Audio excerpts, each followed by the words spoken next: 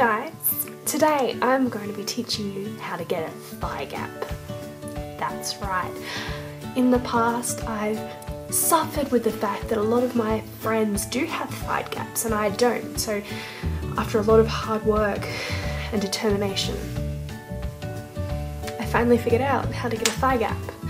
And I'm going to tell you guys how to do it as well so you can revel in the experience that I've had in getting myself to that perfect look. So here it is, let me show you.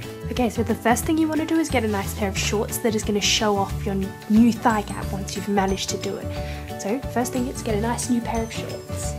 Second step is you're going to need some paper and a pen. And now I'll show you how to get the final result.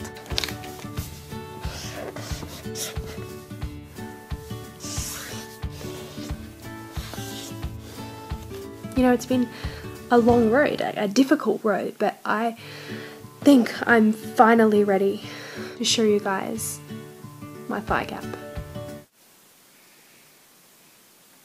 It's beautiful, isn't it? Don't even get me started on my abs.